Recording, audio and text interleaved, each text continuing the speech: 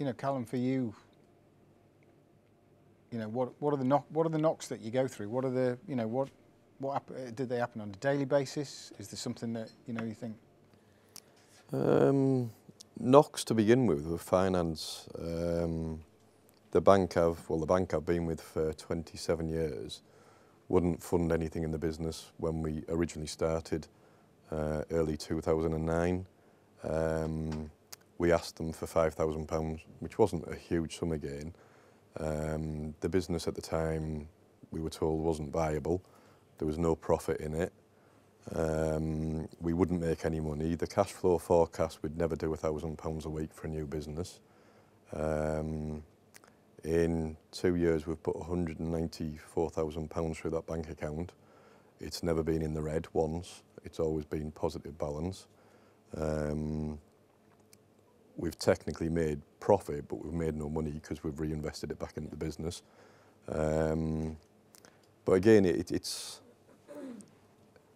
the starting block for probably a lot of people is trying to. It's it's the cash flow forecast that get me because anybody can just sit there and guess on paper what you're going to do, and that that's all it is. It's guesswork, and I'm going to do this tomorrow. I'm going to do that next week, um, and it's unfortunate that's all the banks look at. I had a, I think it was a 28-page business plan going into the remanufacturing side, the recycling side, how much the remanufacturing industry puts into the UK economy on a, a yearly basis, which goes into the billions. It, it's a lot of money in it. Um, and my business manager I'd been dealing with for seven months when she came to see us in the unit, actually thought we did tables because she'd never read our business plan. And when she came in to see us and she's like, so do you make these benches and that here? I'm like, what, what? And it's like, no, tables, Table Connect. Hadn't even, I mean, table Connect, Table Connect, it's in big red letters, you, you can't miss it.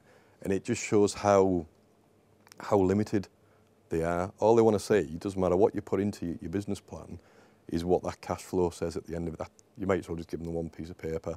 That, that was one of the hurdles. And to actually stand there in front, of I thought she was joking. And she actually thought we produced tables and she'd been dealing with our account for seven months. And this is a, the lady that had apparently fought their risk team to try and get us some financing because we could sell 20 tables a month. um, you know, and, and again, when you look at that, they were talking the profit margin. We can make £200 profit on each sale that we do. When you've got a woman like that fighting your side and trying to say that we can make 200 pound profit on a table that we never actually made. And there's, there's daft little things like that. You, you get the wall barrier on it, but banking is the worst side of it, I think. Um, I know now they've been, they've, well, they're supposed to be being told to give money out to businesses, haven't they? That's what they've been said, yeah. Uh, we, we got refused a loan two weeks ago, and we've got a viable business product. We've proven it over two years, and they're still sort of humming and hawing, which a lot of people will get from start off. It depends on much you need to start off, to be honest with you. But there's a lot of hurdles out there, most of them are finance. But you don't let it stand in the way. No, no, bollocks to them. it, it, it, it's, it is the thing, if, if you want them to do it, you need to do it. Um, it's like Chris, Michael, you're not going to be satisfied. You know, I did jobs over the years that were crap, but you have to have money coming in. I had an opportunity and I took it slightly, pushed into it, but I took it because it was there. Um, I think we've both done the same type of thing. Um, no, no, I think you've got to you've got to take it. Do you see any hurdles, Chris, ever? Do you see any barriers? Yeah, of course.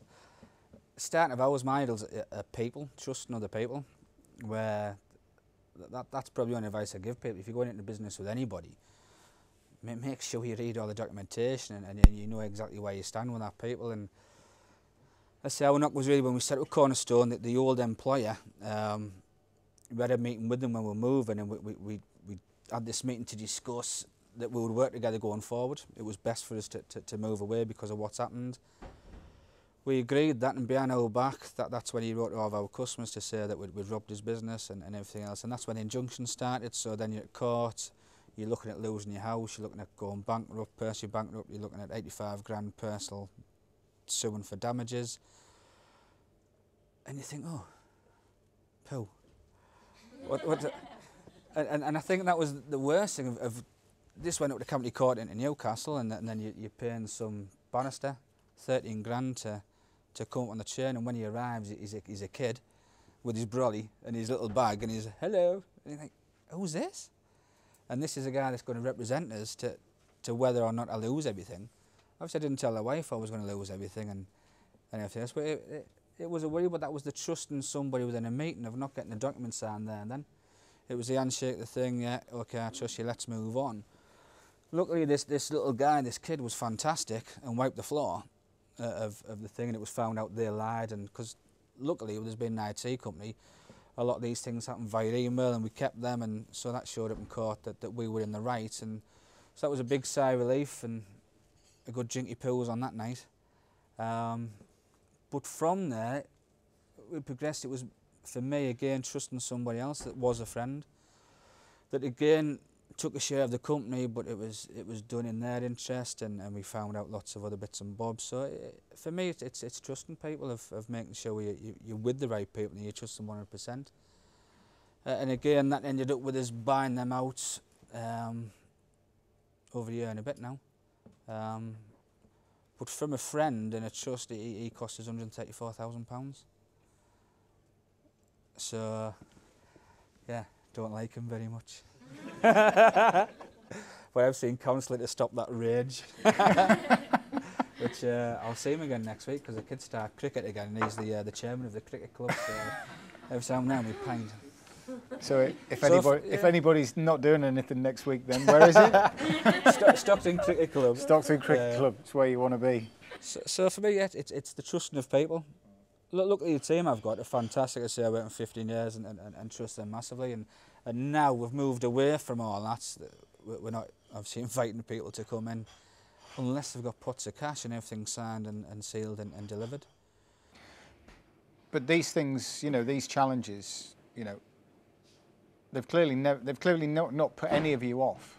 I mean, have, have you ever thought of chucking it in, or is it always that dogged determination? For determination? me, no. I mean, it's. it's I mean, I, I love my work. You know, I'm I'm always determined to get to the, the, the next step. You know, um, you know, I'm, I'm just constantly out to think of new ideas. You know, I mean, this morning, for instance, I had a few hours spare, uh, so I made, I made a Guinness fudge. So that's that's my new line. Um, so I've, always got these ideas. I mean, I'll wake up in the middle of the night, I'll write down some something new, or you know, just something different. You know, but just, I just constantly keep at it myself. Chris, I, I'm loving the whole thing. yeah. Yeah. After after 12 months, uh, my old employer, not the one that took me to court, the one before then, uh, offered me a million pound for the business. So within 12 months, you're thinking, well, a million quid, and I said, no, I'm better than you. Uh, we've won awards, you haven't.